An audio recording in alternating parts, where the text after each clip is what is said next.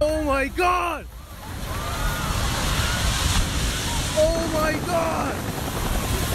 根据 CNN 美国有线电视网最新消息，三月十五日，一场史无前例的超级龙卷风席卷了印第安纳州和俄亥俄州。当猛烈的风暴席卷美国中西部时，它像一头发怒的巨兽，在这片平静的土地上肆意横行。狂风怒嚎，大树连根拔起，房屋被撕成碎片，就像废纸一样被抛向空中。龙卷风所到之处，满目疮痍，一片狼藉。官方数字显示，这场灾难性的风暴已经造成至少三人遇难，数十人受伤。但在废墟之下，生命的消息仍在搜寻中。随着救援工作的深入，不排除伤亡人数进一步上升的可能性。洛根县警长兰迪多次面对镜头，语气沉重：“我只能用炸弹爆炸来形容眼前的景象，一切都被摧毁了，房屋、汽车、路灯，就连马路都被砸出了坑。印第安纳州和俄亥俄州的部分城镇惨遭洗劫，满地狼藉，一片废墟。我们的县从没见过这种场面。”多次警长哽咽着说：“我担心我们会找到更多遇难者。”但我们不会放弃，要一个一个的搜寻，直到确认每个人的安全。这场突如其来的灾难重创了这里的居民。布莱恩·施密特躲在浴室里，听着屋顶被掀翻的声音。他说：“就像一列货运列车从我家客厅里呼啸而过。当他走出避难所时，家园已面目全非，一切都没了。我的车、房子的前墙全都不见了。活着真是万幸。”施密特拥抱着妻子，泪水模糊了双眼。像施密特一样，成百上千的家庭流离失所，财产损失惨重，房屋倒塌，农田被毁，停电断水，通信中断。风暴过后，留下的是满地创伤。官员称，这些社区遭受的破坏难以想象，重建之路将漫长而艰难。但在绝望中，也有令人动容的一幕。邻里们挺身而出，带着电锯、发电机来帮助那些失去一切的人们。志愿者们加入搜救大军，在废墟中挖掘、寻找幸存者。这场灾难让我们看到，在苦难面前，人性中最美好的一面依然闪耀。俄亥俄州副州长乔恩·赫斯特德说：“从废墟中，我看到了不屈的精神，人们相互搀扶，共度难关。只要大家携手同心。”我们就一定能重建家园，创造奇迹。在这场灾难中，有些社区犹如风暴的镇央，遭受了毁灭性的打击。印第安湖这个曾经宁静美丽的度假小镇，如今满目疮痍。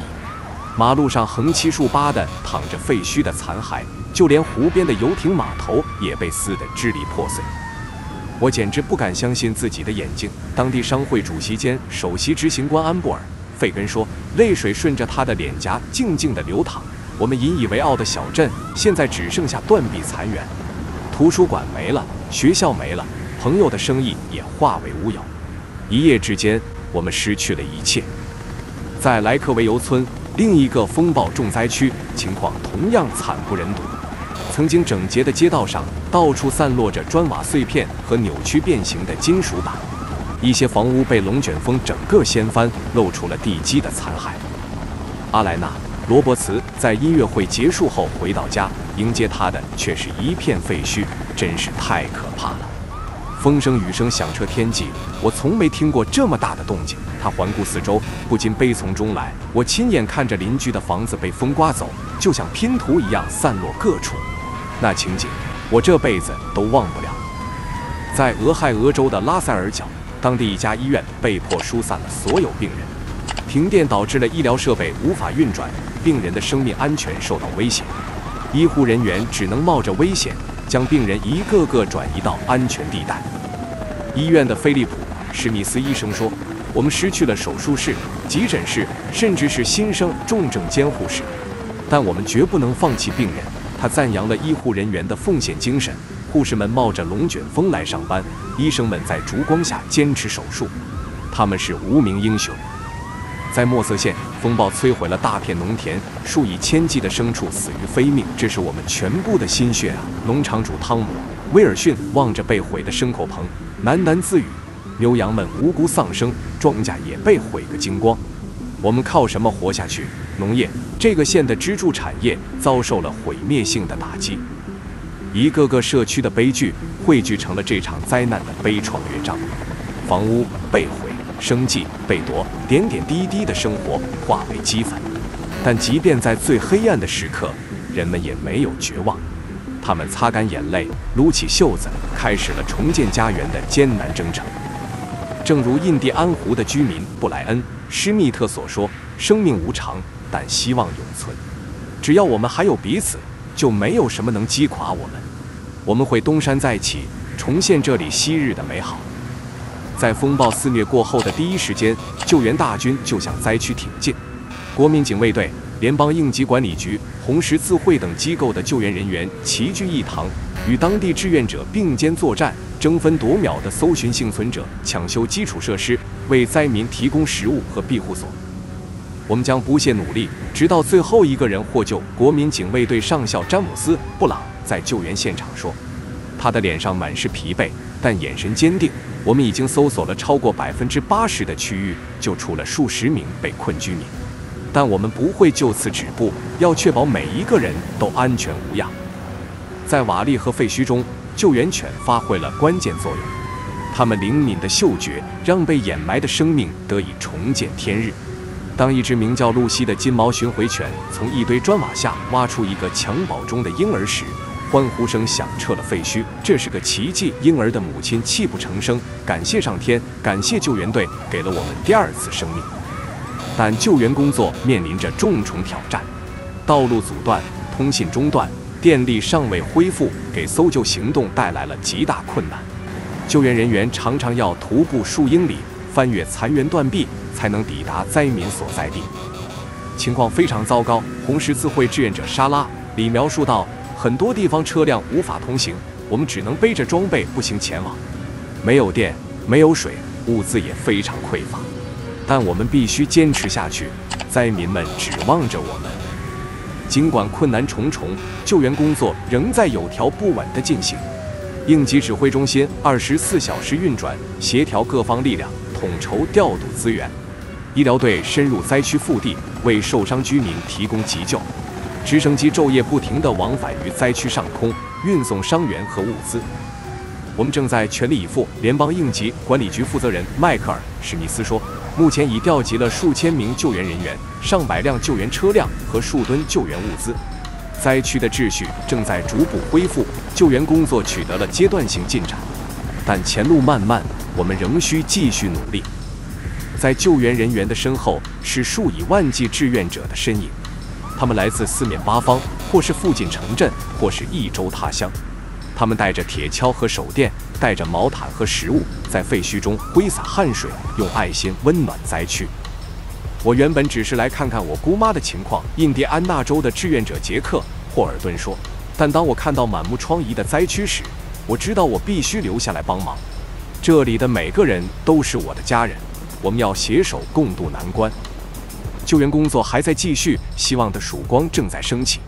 灾区的人们坚信。只要大家同舟共济，定能重建美好家园。正如一位幸存者所说：“我们失去的终会找回，我们倒下的终会重建。风暴带走了我们的房屋，但永远带不走我们的希望。风暴的肆虐不仅带走了人们的家园，也打乱了他们平静的生活节奏。灾难无情地撕裂了一个个家庭，留下了无数伤痕和创口。在灾难发生后的第一个周日。”人们聚集在废墟中的一个临时避难所里，互相安慰，寻求支持。索菲亚·罗德里格斯抱着两个孩子，泪水模糊了她的双眼。我的丈夫还没找到，她哽咽着说：“我不知道该怎么告诉孩子们，他们的爸爸也许再也回不来了。”谢谢您按赞、留言、订阅和开启小铃铛，我们每天更新。失去亲人的痛苦笼罩着每一个受灾家庭。玛丽。汤普森坐在帐篷里，手里紧紧攥着一张泛黄的照片，那是她和去世的丈夫的结婚照。我们本来约好了今年结婚五十周年要一起去夏威夷，她喃喃自语。但现在只剩我一个人了。对于幸存者来说，生活的方方面面都受到了影响：断水断电、食物短缺，许多人不得不在避难所里度日。露天停车场成了临时安置点，帐篷搭建在车位之间，人们排着长队等候领取救济品。我从没想过有朝一日会沦落到这个地步。汤姆·威尔逊说：“他的农场在风暴中损失惨重，我一辈子都在土地上劳作，但现在我连一顿像样的饭都吃不上。孩子们的教育也面临危机，学校被毁，教室成了避难所。我最担心的是孩子们会落下功课。”教师丽丽陈说：“很多孩子已经失去了家。”我们不能再让他们失去未来。他和其他老师自发组织起来，在帐篷里为孩子们上课，尽最大努力维持教学。随着时间的推移，风暴的影响逐渐从肉眼可见的创伤转变为内心深处的伤痕。我每晚都会梦到狂风呼啸的声音。幸存者杰西卡·布朗说：“醒来后，我常常分不清自己是在梦里还是现实中。心理创伤成为了灾后民众面临的又一个挑战。”但即便在最艰难的时刻，人性的光辉也从未泯灭。邻里之间互帮互助，吃住都在一起。素不相识的人成了患难与共的朋友。我的房子塌了，却收获了一个大家庭。罗伯特·史密斯说：“他和另外三户人家挤在一个帐篷里，我们分享食物，分享故事，用爱与快乐驱散阴霾。灾难改变了一切，但也凝聚了人心。受灾群众知道。”前方的路还很长，生活的曙光还需努力去争取，但他们坚信，只要携手前行，没有什么困难是不可战胜的。正如一位居民所说：“房子可以重建，车子可以再买，但生命的馈赠是风暴带不走的珍宝。”感恩我们还有彼此，还有希望。当风暴的阴霾渐渐散去，灾区人民凝望远方，开始憧憬重建的曙光。政府与民间团体携手合作，制定了一系列复兴计划，是要让家园重现往日的生机。我们将兴建更坚固的房屋，铺设更安全的道路，打造更智能的电网。俄亥俄州州长麦克·德维恩在新闻发布会上庄严承诺：“灾难摧毁了我们的建筑，但激发了我们的斗志。我们要在废墟上树立起希望的丰碑。”作为重建计划的首要任务，联邦政府拨款数亿美元用于灾区基础设施的修复，数以千计的工程师、建筑师、施工人员涌入灾区，昼夜不停地工作。塌陷的道路被填平，折断的电线被接起，断壁残垣逐渐被清理干净。看到大家齐心协力的劳动，我感到无比欣慰。志愿者琳达·微博说：“每一块砖瓦的重建，都是我们重拾希望的见证。”为了让灾民尽快回到正常生活，政府还出台了一系列惠民政策。受灾家庭可以申请低息贷款，用于重建房屋；失业人员可以领取临时救济金，渡过难关；税收减免、医疗补助等举措为灾民撑起一片经济保护伞。政府的支持让我看到了曙光。汤姆·威尔逊说：“他的农场正在申请重建资金。”我知道。只要我们肯努力，生活就一定能重回正轨。民间力量也在重建大业中贡献着自己的一份力量。各大企业捐资捐物，助力灾后重建；慈善机构开展募捐活动，为灾民提供生活必需品。全国各地的志愿者更是纷纷请缨，奔赴灾区一线，用双手重塑家园。我们公司捐赠了大量建筑材料。用于灾区学校的修复。本地企业家杰克·史密斯说：“孩子们是我们的未来，他们理应在最好的环境中学习成长。重建不仅仅是砖瓦的堆砌，更是心灵的抚慰。政府联合心理咨询机构在灾区开设心理援助热线和诊疗中心，帮助人们走出灾难的阴霾。艺术家们则用歌声和画笔抚平伤痛，传递希望。”俄亥俄州位于美国中西部地区，是美国龙卷风的高发区之一，其原因是非常复杂的。首先，从地理位置上看，俄亥俄州处于龙卷风的多发地带。美国中部地区被称为龙卷风走廊 （Tornado Alley），是全球龙卷风发生频率最高的区域之一。这一地带西起落基山脉，东至阿巴拉契亚山脉，南北纵贯美国大平原，每年春夏之交。这里都会成为龙卷风的主战场，而俄亥俄州正好位于这个走廊的东部边缘，紧邻龙卷风另一高发区的龙卷风巷 Dixie Alley，因此极易遭遇龙卷风的袭击。其次，从地形特点上看，俄亥俄州大部分地区为广阔平坦的大平原，和缓起伏的丘陵地带，地势开阔，没有太多山脉阻挡，利于龙卷风的生成和移动。平原地区一马平川，空气湍流强烈，在触发效应下更容易形成龙卷风。再次，从气候条件上看，俄亥俄州春夏之交常常受到冷暖空气交汇的影响。每年四至七月，来自北方的冷空气团会南下，与来自南方的暖湿空气相遇，在俄亥俄州上空形成强烈的大气不稳定。冷暖空气在垂直和水平方向上的剧烈运动。加上急剧变化的风向风速，极易导致龙卷风的生成。此外，俄亥俄州夏季高温多雨，为龙卷风的发展提供了充足水汽和能量。另一方面，俄亥俄州特殊的下垫面条件也是龙卷风多发的一个原因。该州有大片农田、草场、森林等覆盖，下垫面粗糙度较大，加大了近地面风切变，为龙卷风的生成创造了有利条件。除了自然因素，俄亥俄州人类活动导致的环境变化也可能加剧了龙卷风的发生，比如城市化进程改变了下垫面性质，加剧了热岛效应，可能诱发更多龙卷风。此外，全球变暖导致极端天气事件增多，未来龙卷风袭击的风险可能进一步加大。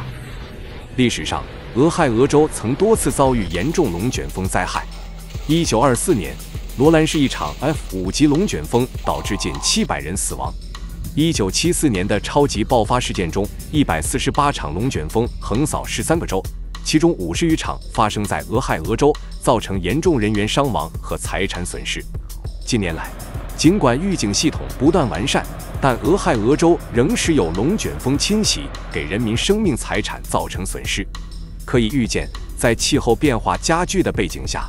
未来，俄亥俄州乃至整个美国中西部都将面临更加频繁和强烈的龙卷风袭击。